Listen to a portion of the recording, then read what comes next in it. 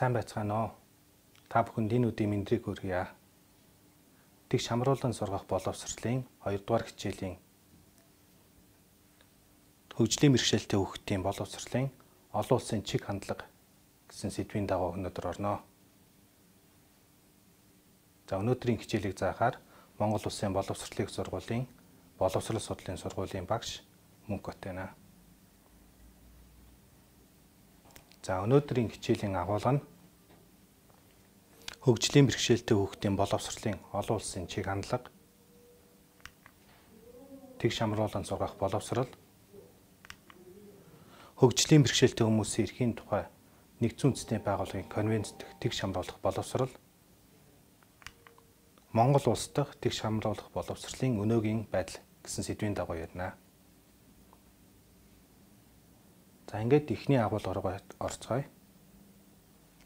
Сурах боломжгүй, шаардлагагүй гэсэн тодтголтой хүүхэд ялангуяа тусгай хэрэгцээт боловсрох шаардлагатай хүүхдийн боловсрох эрхийг нь хязгаарлаж, гадуурхаж өөрөөр хэлбэл сурч боловсрох үйл ажиллагааны гадна үлдээж байсан.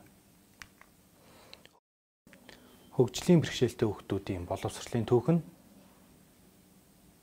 ердийн боловсрал, тусгай боловсрал гэж тусад нь авч үзэж байсан үеэс ихтэй.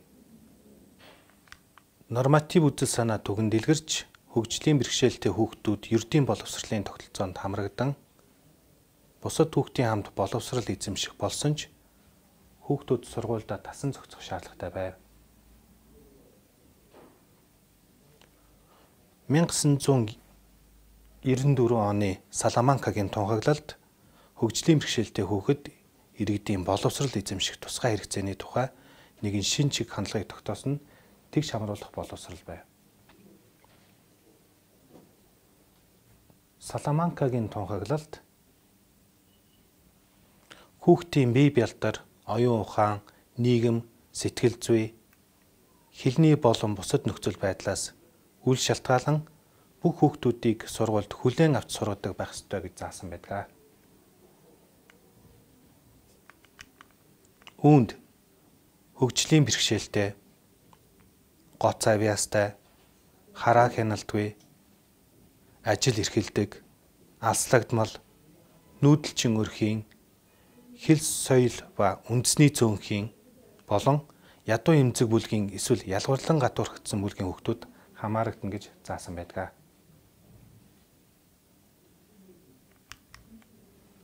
За хичээлийн 2 дугаар агуулга руу орж байна.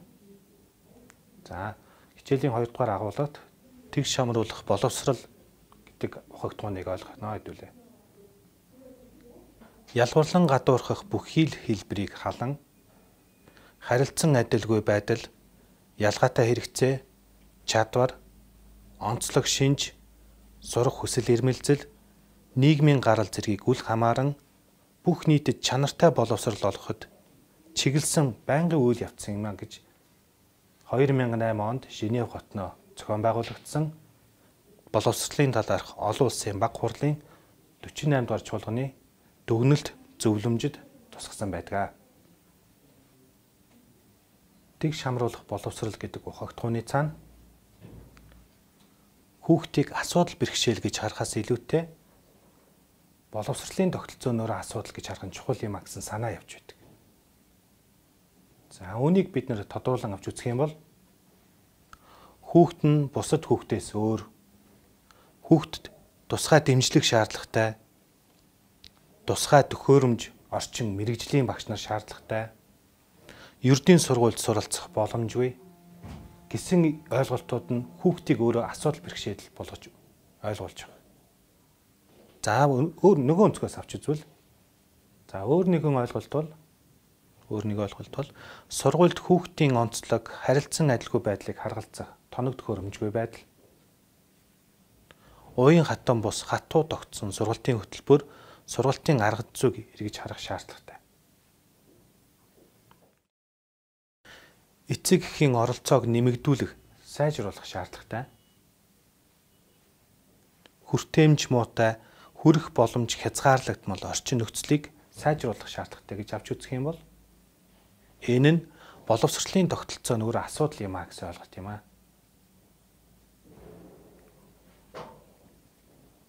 Хөгжлийн бэрхшээлтэй хүмүүсийн эрхийн тухай нэгдсэн үндэсний байгууллагын конвенц дах тэг шамруулах боловсрал.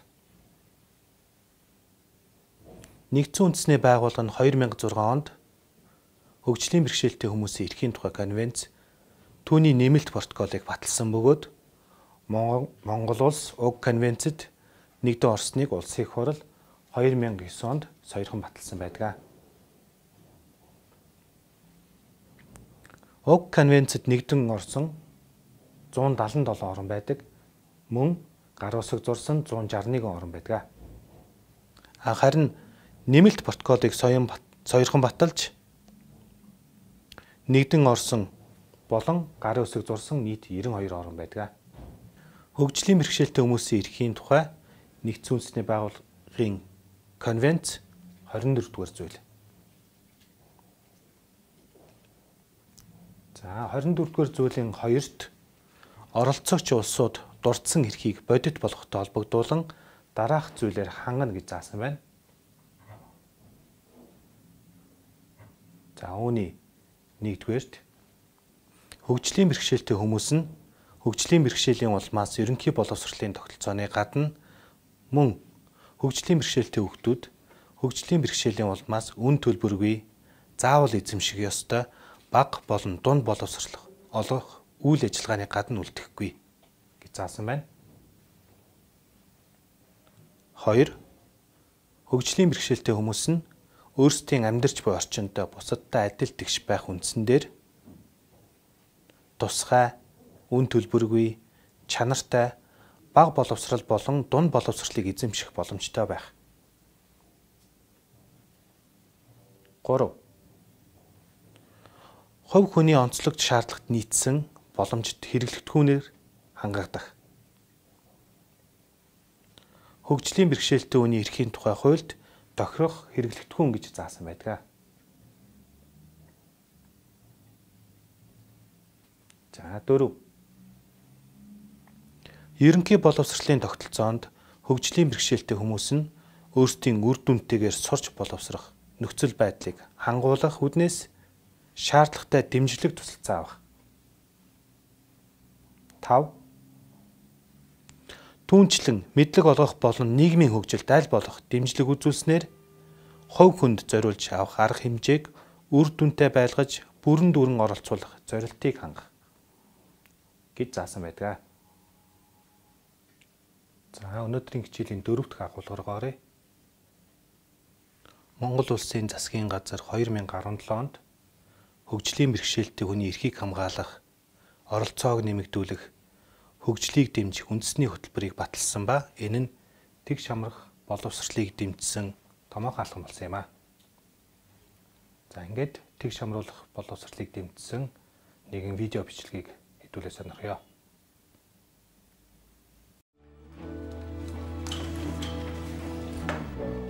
Хүүхдүүд альвааг ойлгож хүлээж авахтаа амархан гол нь тэдэнд зөвөр ойлгуулж тайлбарлаж өгөх хэрэгтэй. Одоо улс бол ангийнхнаасаа ичиж санаа зовлгүйгээр хичээлдээ явдаг болсон. Ангийнх нь түүнийг шатаар өгсөж уруудахад нь төшөж, бие засахад нь хамт явах зэрэгээр тусалдаг. Зөвхөн ангийнхан ч гэлтгүй сургуулийн хамт олон бүгд л эерэг сайхан харилцаж туслаж дэмжснээр ихрүүд сурч боловсрох эрхээ эдлэх боломжтой болсон.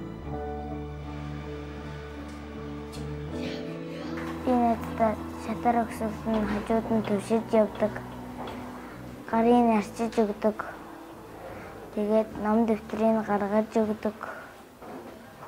Цааны аягийг гаргаж хурааж өгдөг. Шээлэгдэг. Ус ултын төрдөг юм нурааж өгдөг. Би ус төр таартай нэгдүгээр ангиас нанц хэлхэл тоглосон. Манай нэг сайхан сэтгэлдээ сайн хөхтэй. Тэг шамруулах боловсролыг хөгжүүлэхэд технологийн болон материалын шинжилэл төдийгүй тодорхой зарчим, ихтгэл үнэмшил, бүтцийн өөрчлөлтийг бол шаарддаг юм а. За ингээд дэлгэцэн дээр байгаа хоёр шалгуур үзүүлэлтийг үзье. эхний шалгуур үзүүлэлт бол тэгш хамруулах сургуулийн үзүүлэлтүүд байна. Хоёр дахь шалгуур үзүүлэлт бол тэгш хамруулах ангийн үзүүлэлтүүд бол байна.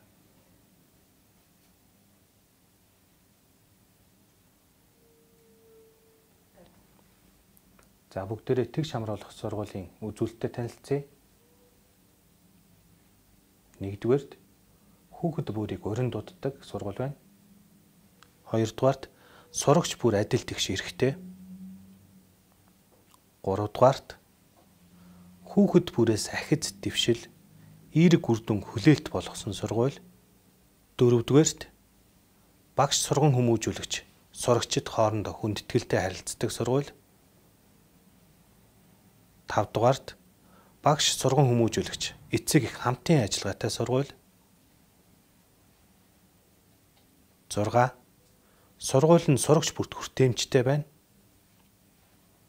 7 туршлагатай Ахмад багш нар сурагч бүрийн оролцоо боловсролд анхаарахад бусад багш нартай тусалдаг сургууль. 8 Сургууль нь сурагч бүрийн оролцоо амжилтыг хяндаг, мониторинг хийдэг сургууль байна гэсэн байна. За одоо тэгш хамруулах ангийн үзүүлэлтийг сонирхъя. Нэгдүгээрт хүүхэд бүрийг хамарсан сургалттай анги.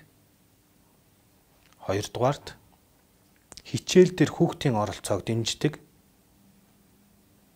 Гуравдугаарт сурагчид сурах үйл ажиллагаанд идэвхтэй оролцдог. Дөрөвдүгээрт сурагчид сурах үйл ажиллагаанд бие биедэнд дэмжлэг үзүүлдэг. Тавдугаарт сурагчдад бэрхшээл тулгарх үед бие биеиндээ тусалж дэмждэг. Зургадугаарт сургууль ангийн дэг нь харилцан бие биедээ хүндэтгэх эрүүл амьдрах зарчимд тулгуурладаг анги. 7 дугаарт сурагчид санаа зовсон эсвэл сэтгэлээр унсан үедээ хандан ярилцах хүн байгаа мэт санагддаг.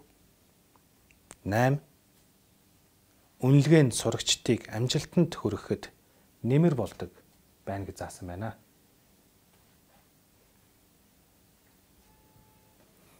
Өнөөдрийн хичээлдээ төвтсөн материалын дэлгэрэнгүй багшийн мэрэгжилтэд ишлүүлэх институтын цахим хуудсанд байршуулсан байгаа.